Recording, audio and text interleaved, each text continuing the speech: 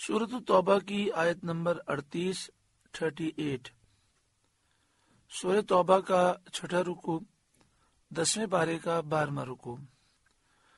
अल्लाह रब्बुल आलमीन ने इरशाद फरमाया, या अय्युहल्लज़ीन आमनू मालकुम इदा कील लकुम फ़ी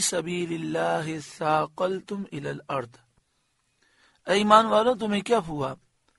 जब तुमसे कहा जाए कि राह खुदा में कूच करो, अल्लाह की राह में निकलो तो बोझ के मारे ज़मीन पर बैठ जाते हो।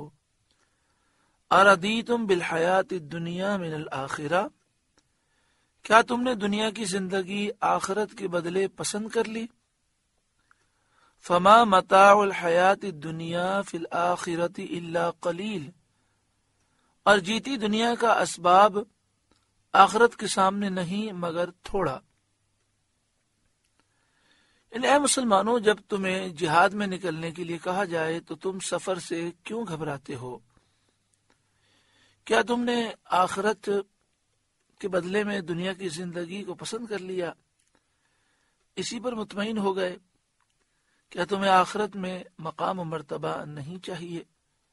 दुनिया की ज़िंदगी का सामान आखरत के मुकाबले में बहुत थोड़ा है, कलील है।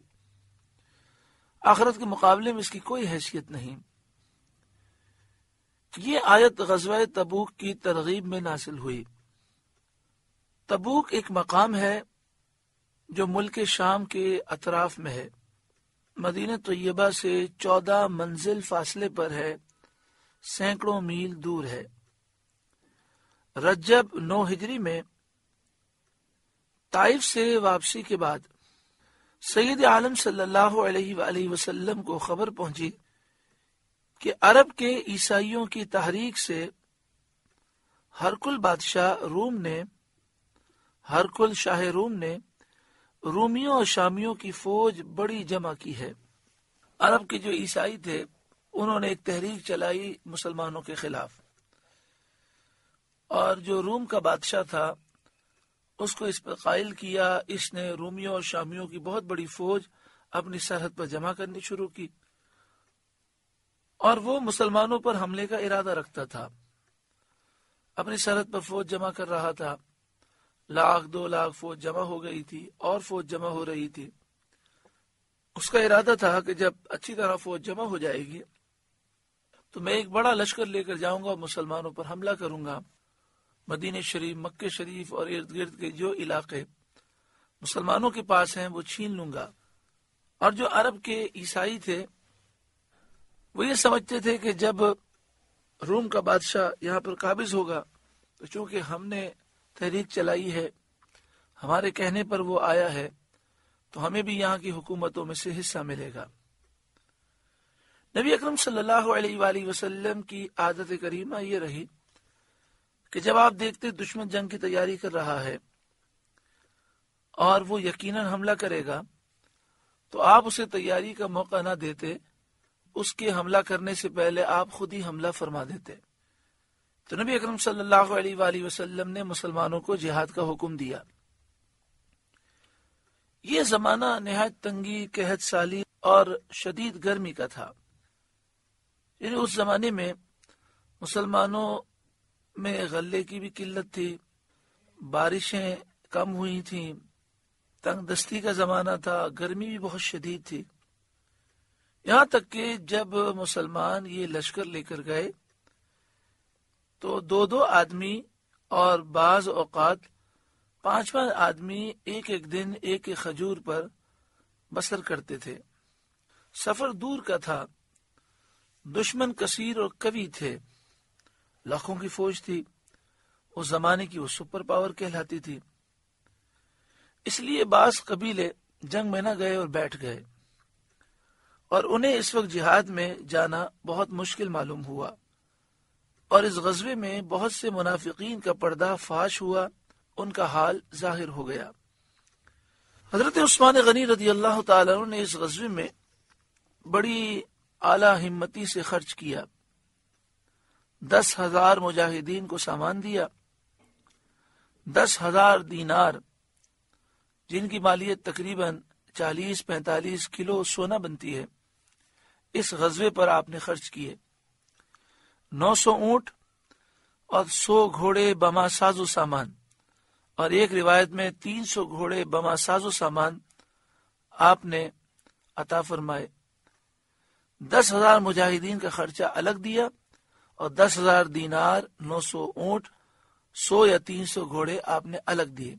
दीगर साहबा कराम ने भी खूब खर्चा किया।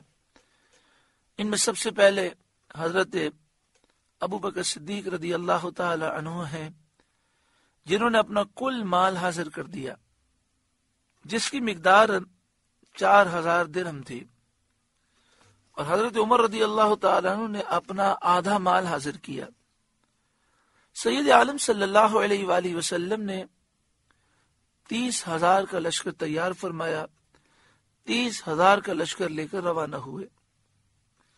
हज़रत अली रदी अल्लाह को आपने मदीना मुनवरा में छोड़ा और मदीने का निज़ाम आपने उनके सिपुर्द फरमाया अब्दुल्ला बिन उबई और इसके जितने साथी मुनाफिकीन थे, वो साथ चले, लेकिन मदीन शरीफ के बाहर एक मकाम है जहाँ से लोगों को अलविदा किया जाता है सनीयत उलवदा वहाँ से वापस चले गए।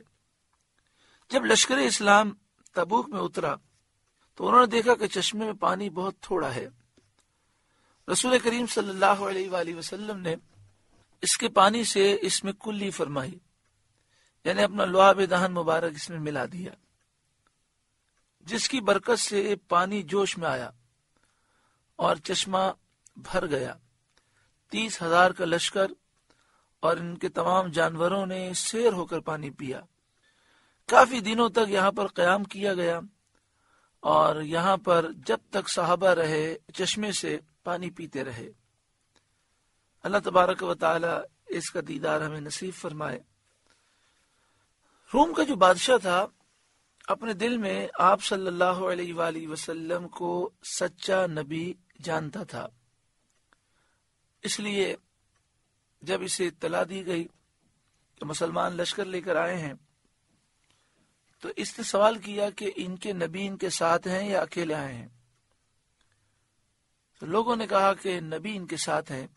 तो इसने अपने आप से कहा कि नबी से मुकाबला नहीं हो सकता।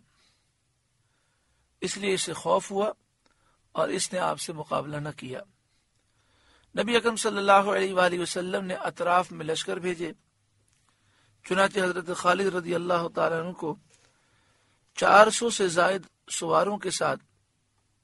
अकेदर हाकिम दौमतुल जुंदल के मुकाबिल भेजा। और फरमाया कि तुम इसको नील गाय के शिकार में पकड़ लो। चुनाचे ऐसा ही हुआ। जब वो नील गाय के शिकार के लिए अपने किले से उतरा, हज़रत खालिद वलीद रदी अल्लाह तु उसको गिरफ़्तार करके नबी अकरम सल्लल्लाहु अलैहि वसल्लम की खिदमत में लाए। आपसे गुजारिश है कि कुरान के इस पैगाम को आगे पहुंचाकर सवाब जारिया हासिल करें।